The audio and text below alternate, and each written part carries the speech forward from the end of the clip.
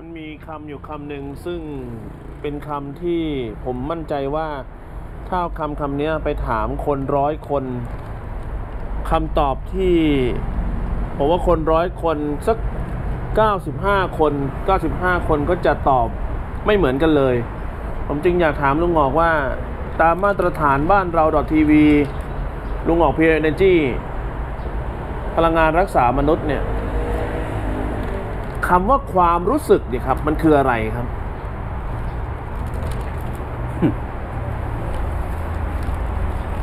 จะยากขนาดนั้นเฉลยความรู้สึกทำไมจะไม่รู้สึกรู้สากันเฉลยนะครับ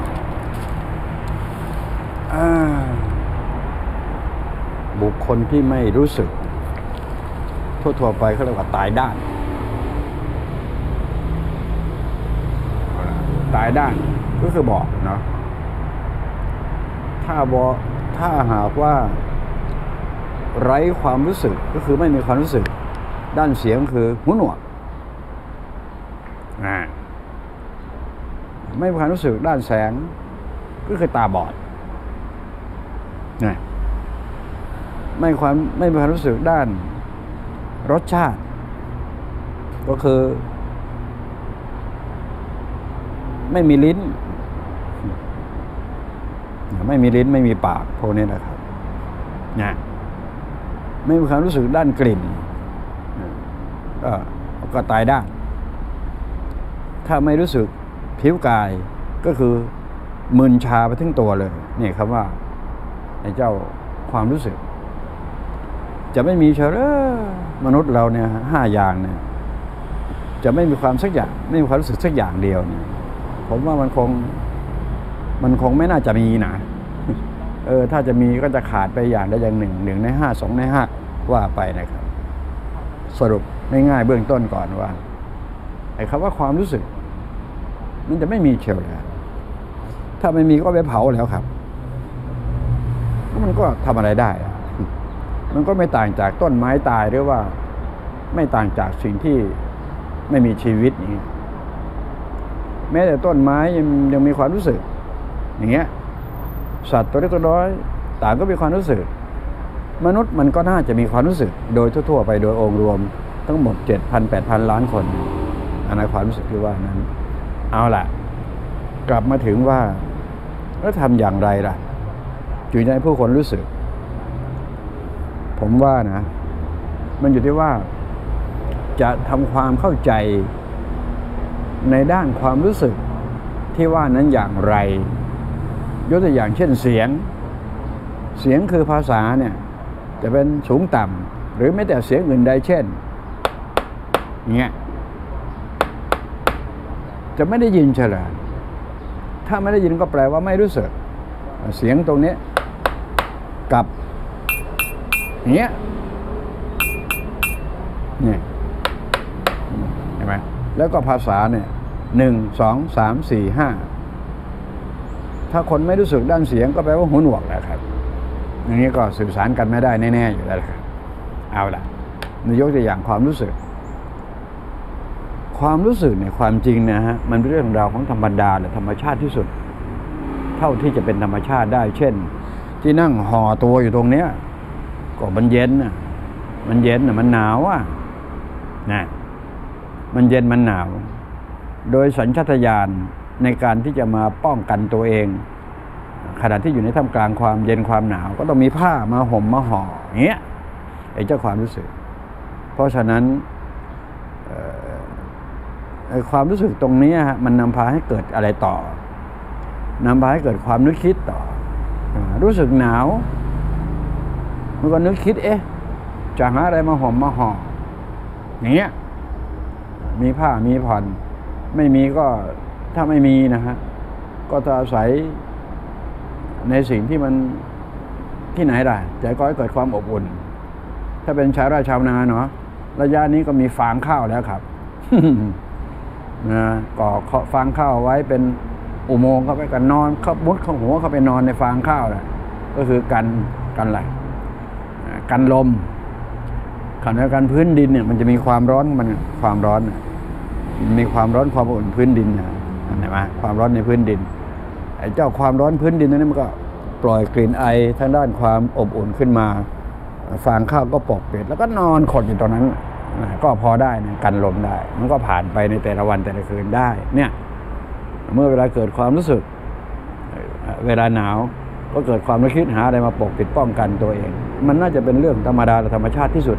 เท่าที่จะเป็นได้ก็แค่นั้นเองเอาละอื่นๆล่ะทีเนี้ย อื่นๆ นี่ก็คือสิ่งที่มันสามารถจับต้องได้ทันทีทันใดเรื่องผิวกายเรานี่นะครับ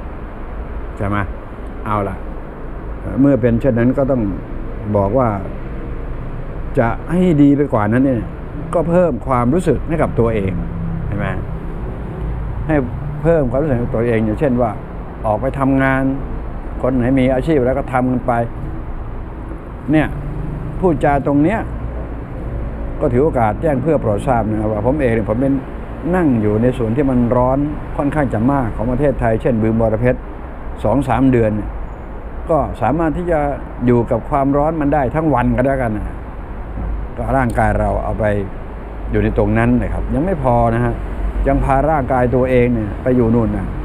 ไออาณาบริเวณที่มันมีหิมะตก อย่างเช่นฮอกไกโดที่ญี่ปุ่นอย่างเงี้ยและหรือรัสเซียเนี่ย ไอการที่เอาตัวเองเจตนาเอาตัวเองเนี่ยไปให้รับความรู้สึกตรงต่างนั้นก็ถือว่าเป็นการปรับร่างกายเออ มันแตกต่างกันไหมระหว่างอยู่ในโซนที่อุ่นหรือว่าร้อน กับโซนที่หนาวแล้วก็เย็นแล้วก็มีหิมะตก เมื่อรู้เช่นที่ว่าสองสิ่งเนี้ยมันก็ทำให้ร่างกายเราสามารถปรับตัวเข้าไปเข้าได้ทุกที่ไม่ว่าจะอุ่นร้อนเย็นประการประการใดก็ตามที แต่สิ่งหนึ่งที่มันยากมากนะฮะในการที่รับความรู้สึก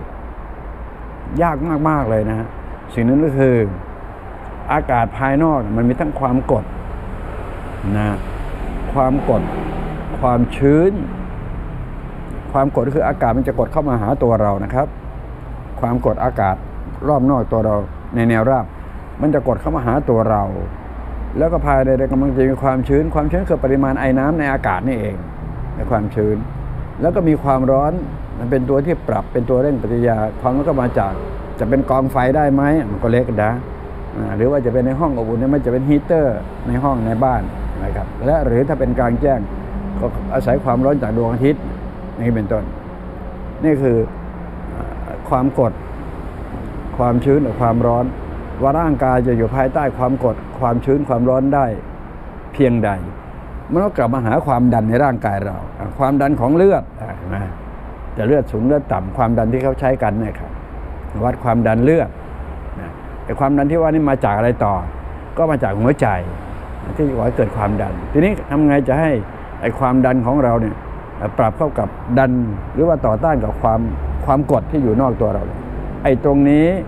วิธีการก็คือเบิร์นนะครับ มันไม่มีทางเลือกอื่นจริงๆครับ ก็คือการที่ทำให้ ปอดเราขยายตัวก็โดยการงั้นมาแล้วก็กลั้นเข้าไปให้มันเกิดความร้อนไอ้ความร้อนตรงนี้ฮะมันจะมาช่วยภายในที่จะก่อให้เกิดแรงดัน ดันภายใน ดันภายในกับต้านภายนอกนไหมอ่าถ้าหากว่าตัวเราเอาชนะแรงต้านภายนอกได้ ตัวเราก็จะปลอดโปร่งโล่งเบาสบายทำอะไรมันก็คล่องเนื้อคล่องตัว เรื่องอย่างนี้เป็นเรื่องของธรรมดา เรื่องธรรมชาติธรรมชาติที่สุดเที่ยวที่ที่จะทำได้ เพราะฉะนั้น บ้านเราดอททีวีเนี่ยสถานีธรรมชาติและสิ่งแวดล้อมจึงเข้าใจในกรอบอ้างอิง ในเรื่องของความเป็นธรรมชาติได้อย่างได้อย่างลงตัวกันแล้วกันอ่าโดยยิ่งร่างกายลุงออกเนี่ยครับได้อย่างลงตัวมากเพราะฉะนั้นการนำเสนอในความที่มันสมดุลภายในร่างกายภายนอกแล้วก็ ตัวกลางที่มีความสำคัญคือการงับอากาศ ยืนยันว่างับอากาศนี่เป็นสิ่งที่เป็นยาวิเศษที่สุดนะอากาศมันก็เป็นของฟรีที่ไหนก็ได้ ขอให้มีเทคนิค ขอให้มีทักษะ ในการที่จะใช้อากาศ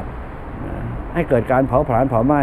ให้ร่างกายเรามีความดันเพียงพอที่จะสู้ความต้านภายนอก เรื่องอย่างเนี้ยมันเรื่องที่ต้องเป็นความรู้สึกที่มันโอ้โหเนียนมากครับเนียนมาก ถ้าใครทำได้มันจะเป็นมันจะเป็นลักษณะเป็นหนึ่งเดียวกันเลยแหละครับ อย่างผมเนี่ยผมจะเป็นหนึ่งเดียวกันกับอากาศนะมันเหมือนเหมือนกับโทษทีขออนุญาตใช้ว่า เป็นหนึ่งเดียวกันกับอากาศ มันก็เป็นเจ้าของอากาศสิ่งเนี้ย เออ ก็ไม่ว่าเข้าใจอากาศอย่างดีก็แล้วกันเอานะเข้าใจอากาศอย่างดีก็แล้วกัน เพราะอากาศมันมีพลังงานซ่อนอยู่ในอากาศอยู่ อากาศเรามองไม่เห็นนะครับ แต่มันมีพลังงานซ่อน พลังงานที่ว่านั่นคือคือพลังงานที่บริสุทธิ์นี่เองครับ ทุกคนทุกท่านนะมีสิทธิโดยชอบธรรมโอ้โห พูดแล้ว ถ้าใครฟังให้ดี แล้วก็นำเอาสิ่งนี้เข้ามาเข้ามาเสริมสร้างไอความรู้สึกของเราในตัวเรา กับความรู้สึกที่เป็นความดัน ความชื้นและความร้อนความเย็นของภายนอกนี้ ผมว่ามันจะปรับตัวได้ง่ายนี่ก็คือมันเป็นองค์ความรู้ใหม่ในศตวรรษที่ 21 ที่มีลุงหอกที่สามารถจับบำเป็นแพ็กเกจเอามาเล่าสู่กันฟัง แล้วนำไปสู่ท่านที่อยู่หน้าจอในการที่เยียวยารักษาตัวเอง ในกรณีที่มีโรคภัยไข้เจ็บเบียดเบียนก็จะมีการกำจัดมาทีละน้อยสองหน่วยนี่เป็นความมหัศจรรย์ของอากาศ ซึ่งบอกว่าอากาศเป็นยาเป็นยาเนี่ยยังไม่พอนะฮะยังมีน้ำเป็นยาอีก ยังมีต้นไม้ใบหญ้าพืชพันธุ์ธัญญาหารเป็นล้วนแต่เป็นยาทั้งสิ้นนะปลาซิวปลาสร้อยสัตว์ตัวเล็กตัวน้อยล้วนล้วนแต่เป็นยาทั้งหมด เรื่องอย่างนี้ต้องกลับมาสู่ในความคิดของธรรมดาและธรรมชาติให้มากๆ แล้วก็ใช้ธรรมชาติให้เป็นประโยชน์ และตัวเราก็เป็นธรรมชาติอยู่แล้วนั้นสองของสองสิ่งนี้เวลามันมิกเข้าหากันแล้ว มันจะเป็นหนึ่งเดียวกันมหัศจรรย์มากครับธรรมชาตินี้ขอให้เข้าใจ point of view คือตรงนี้ด้านความรู้สึกเมื่อเราปฏิบัติตัวตน โดยการงับอากาศเป็นสเต็ป by สเต็ป นะทำในลักษณะที่จับทางได้ตามแต่ตามช่วงตามวัยของแต่ละบุคคล ผมว่าสิ่งนี้นะฮะที่จะมาป้องกันโรคภัยไข้เจ็บ ที่จะมาเบียดเบียนในศตวรรษนี้ และศตวรรษต่อไปสำหรับมนุษยชาติรวมและหลงจ้วงเจ็ดแปดพันล้านคนในปัจจุบัน ถ้าหากว่าคนไม่เข้าใจตรงนี้ มันก็เจอแต่พิษภัยทั้งหมด โรคภัยอย่างโรคภัยก็จะต่างๆ ก็จะมาเบียดเบียนไปตลอดเพราะฉะนั้นเรื่องอย่างนี้ เป็นเรื่องที่จะต้องมาตั้งต้นกันในการที่จะทำเพราะสิ่งเหล่านี้ทำได้ทุกคนจะเป็นเด็กผู้ใหญ่คนเฒ่าคนแก่ได้หมดทั้งสิ้นขอให้จับเอาเทคนิคติดตามให้ดีนะ บ้านเราดอทีวี สถานีธรรมชาติสิ่งแวดล้อมยังไม่พอนะ การที่จะรู้กับสิ่งเหล่านี้ก็ต้องรู้ได้ด้วยปัญญาไอ้ปัญญามันก็ไม่มีอะไรมากมายนะครับ ก็คือความเข้าใจนี่ความเข้าใจเนี่ยเป็นที่มาของการเริ่มต้นของคำว่าปัญญาปัญญาเพราะฉะนั้นพอเวลาลุงเล่าสู่ฟังนี้ ท่านอยู่หน้าจอ ฟังทันไหมไม่ทันก็บอกนะ พูดเร็วเกินไปหรือเปล่าเงี้ยแล้วก็เข้าใจไหมพอเวลาเข้าใจก็ทำไปให้มันเกิดความมั่นใจพอความมั่นใจเท่านั้นเองแล้วก็สามารถอยู่ในชั้นบรรยากาศที่มีความกดดันอย่างไรก็ได้ เพราะฉะนั้นชีวิตยืดยาวยืนนานมันก็จะเกิดขึ้น เรี่ยวแรงมันจะเกิดขึ้นสติปัญญาก็จะเกิดขึ้น การนำมาซึ่งประกอบสมมาชีพชอบตามปกติในชีวิตประจำวันมันก็สบายสบาย หิวก็ได้กินง่วงก็ได้นอน ร้อนก็อาบน้ำทำอะไรมันก็ใช้ร่างกายธรรมดาธรรมดา อย่าไปตั้งต้น เอาวิทยาศาสตร์เข้ามาเป็นมาตรฐานในการที่จะใช้ชีวิตจนเกินเหตุเกินปัจจัยนะแต่ทางวิทยาศาสตร์ก็คือของใช้นี่โอเคเห็นด้วยสำหรับของใช้แต่ของกินของกินลุงหอกยืนยันว่าปฏิเสธโดยสิ้นเชิงอะมีอะไรไหมไม่มีครับเอาอีกแล้ว ไม่มีอีกแล้วก็แปลว่าอะถ้าไม่มีก็ถือว่าเป็นสิ่งที่มอบให้กับท่านที่อยู่หน้าจอที่เคารพ โอเคครับ thank you เป็นบิ๊กครับผม